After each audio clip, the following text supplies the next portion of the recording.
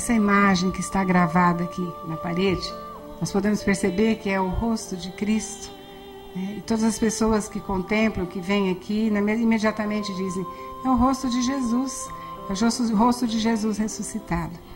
Então aqui se, não é para nós fazermos algum estardalhaço, não é para chamarmos a atenção de ninguém. Para nós isso é muito significativo, porque é, é como se ele dissesse assim: Eu estou presente aqui. Eu estou aqui no meio de vocês, eu estou fazendo toda essa obra de restauração em vocês.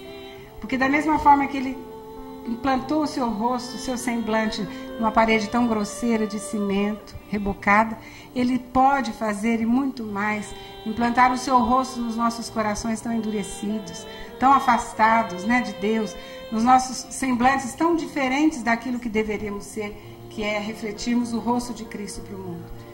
Porque o pecado nos deformou, o pecado nos distanciou da, da beleza interior que trazemos, que é Deus em nós, Jesus em nós. Então, essa obra de restauração vai, da mesma forma que o Senhor implantou nessa parede o seu semblante, ele vai também implantando devagarinho, lentamente em cada um de nós a sua face, o seu semblante, o seu rosto, dando-nos forma nova dando uma expressão nova, a expressão do seu amor neste mundo.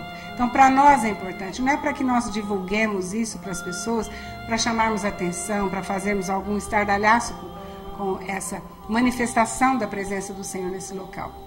Né, não é essa a nossa intenção e nem é essa a vontade de Deus.